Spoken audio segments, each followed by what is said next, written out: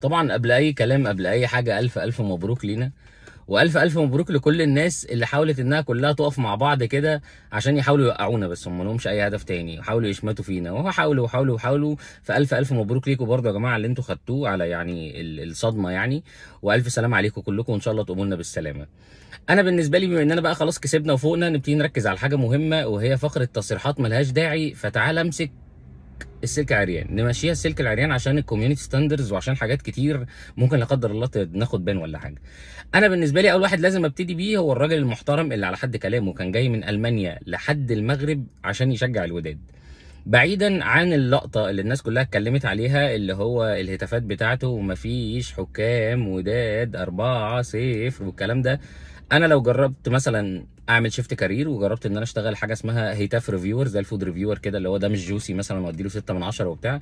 أنا هديك 2 3 من 10 في الهتافات لأن بصراحة تلحين وهتاف زي الفل جميل مش لايق على بعضه وملوش أي علاقة ببعضه. بس خلينا نديك العشرة كاملة برضو ون- ونجرب نقول نشوف مثلا أنت ممكن توصل لحد فين. بعيدا عن اللقطة دي زي ما قلت لك تعالى صديقي نتكلم في كلمة أنت قلتها لما سألوك أنت ليه أصلا جاي تشجع الوداد. فخلينا نشوف الفيديو ده وبعدين نرجع تاني. والاتحاد الأفريقي كله كله دايما ناحية الأهلي وبيديله الماتشات السهلة. الأهلي قعد 16 سنة كاملة. دور الثمانيه يلعب ماتش العودة في القاهرة.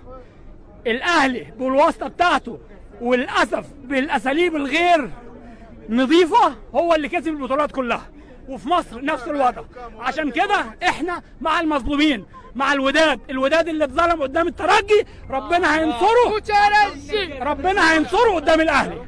4-0 إن شاء الله. طيب هو هنا بيتكلم في نقطة مهمة وهي إن الوداد إخواتهم في الظلم وإن هم مظلومين بقالهم كام سنة والأهلي قعد 16 أو 17 سنة بيلعب ماتش العودة في دور الثمانية على أرضه كتطبيل من الكاف والكلام ده. المعلومة اللي ما يعرفهاش الأستاذ الفاضل اللي جاي يضرب مشوار من ألمانيا إن لحد سنة 2016 أساسا ما كانش فيه رايح جاي في دور الثمانية كان مجموعات لسه يعني المجموعات كانت دور الثمانية ما كانتش دور ال 16 وكان اللي بيتأهل لدور الأربعة اللي بيتأهل أول مجموعة بيلعب ماتش العودة على أرضه واللي بيتأهل تاني مجموعة بيلعب أول ماتش في دور الأربعة بره أرضه. فالموضوع ما كانش ليه علاقة بالكاف لا في دور الثمانية ولا حتى لو كان قصدك دور الأربعة فهو دور الأربعة. ودي قصة أنا متأكد إن أنت يعني معلوماتك فيها على قدك شوية انت بس حاسس بالظلم والكلام ده اللي هو ال- الروح الحلوة اللي أنتوا بتحبوا تعيشوها كلكم كده مع بعض وتقعدوا تقولوا قد إيه إحنا مظلومين وتقعدوا تعيطوا كلكم جنب بعض والحاجات دي. بس الراجل ضرب مشوار مخصوص من ألمانيا عشان يحتفل اللي هو حقه. يعني في المطلق حق أي حد يشجع أي حد هو حر ما عنديش فيها مشكلة. بعيدا عن إن أنتوا لفيتوا على حجر القارة كلها برضو في محاولة بائسة إن أنتوا قال يعني تفرحوا فينا وما عرفتوش. بس يعني حقك حقك إنك تحاول تفرح بحكم إن أنت ناديك نادي كله خواجات آه، ناس يعني محترفين من بره وكده بس برضه ما بيعملوش حاجة وبرضه على طول منكد عليك فحقك تدور على الفرحة في أي حتة تانية. بس ال- النقطة الجميلة بالنسبة لي بقى كان فيديو تاني هوريه لكم برضه لما لعيبة الأهلي قابلت نفس الراجل المحترم ده في المطار وهم راجعين. فهوريكم لعيبة الأهلي عملت معاه إيه.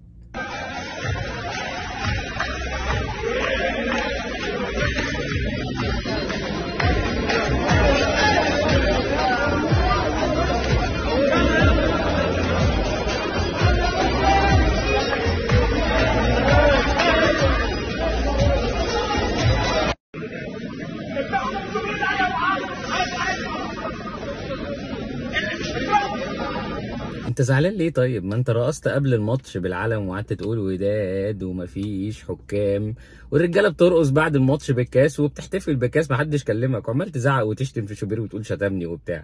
أنا بس جاي أعتذر لك على نقطة واحدة. على اكونتي الشخصي على الفيسبوك وده حاجة private يعني مش مش زي هنا.